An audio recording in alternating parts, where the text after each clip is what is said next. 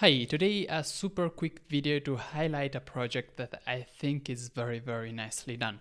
After the release of Windows 11, which you probably know about, there was a lot of requests to implement a feature from that OS which was right clicking on the maximize button of any Windows actually raises up a menu that uh, where you can actually select where to tile the window, so to the left, to the right or in various uh, ways and that was asked a lot. And I think there was even some uh, short discussion on whether it was actually feasible. And luckily, such a change would require some a lot of KWin, which is the window manager for KDE changes. And KWin is generally the project that you want to remain as stable as possible. So nothing really happened. However, KWin is meant to be very extensible via scripts and plugins. And somebody actually did a script that does basically when, what Windows does. It's not exactly the same, but it's very, very nicely done. So just as a quick info, how do we actually um, install uh, a KWin script? Uh, I'll show you the uh, what I'm talking about, which is this one, and I'm showing you how to actually get it immediately. You just go into settings, you go into window management, then KWin scripts, and then get new scripts, and you get exquisite. It's called immediately after you open it. So it is super easy. You don't have to have a browser or anything. You just open system settings. You do need internet, obviously.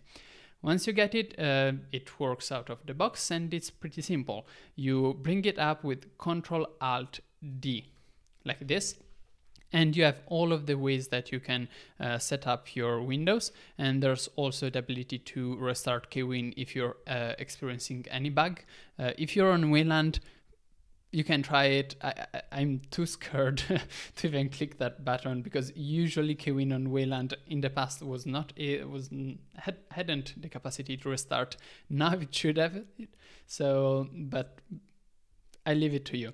So you also get a button that tells you how this works by linking to the GitHub page, which I already have op open, and then you just click uh, the, I mean, where you want to tile. It's pretty self-explanatory, I think. There are a lot of very nice um, options. You also get the option to install a widget and then activate and deactivate it using uh, that widget, just clicking on it.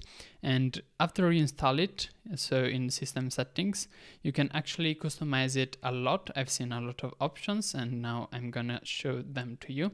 In here, you've got uh, the number of columns, uh, the position of uh, the plugin. So an, as an example, to actually apply the settings, I think you do need to deactivate it, uh, sorry, apply and then activate it again.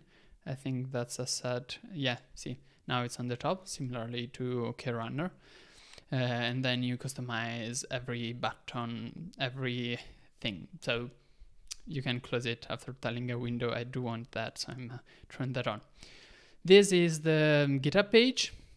You don't even have to open it to install this. So if you just want to give it a go real quick, you can just open up uh, system settings, but you can go through it and uh, it, it is very, very nicely done. I don't know what else to say. So congratulations to this project and I hope to see more KWin scripts like this. So check it out.